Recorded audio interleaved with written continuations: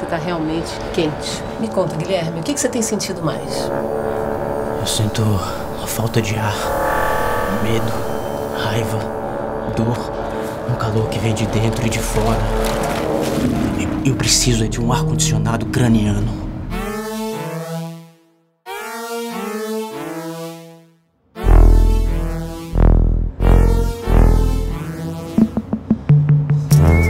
Tô aqui pedindo esmola. É o meu trabalho. A questão é que você não entregou o livro. Isso aqui é dinheiro público, não pode ser assim. Mas se vocês me derem mais um pouco de tempo, eu posso resolver tudo isso. A previsão é que dentro das próximas 48 horas, Salvador será atingida por fortes ondas de calor.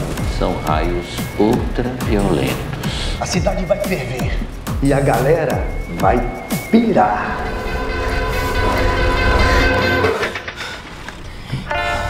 Que foi? Eu preciso do meu ar-condicionado com urgência. É que eu tenho que fazer um trabalho e, e sem ele não tem como. Você já ouviu falar em autocombustão espontânea? Fala nisso, velho. Cadê o teu livro? Tá saindo. Depois do carnaval você vai ter o seu autografado e tudo.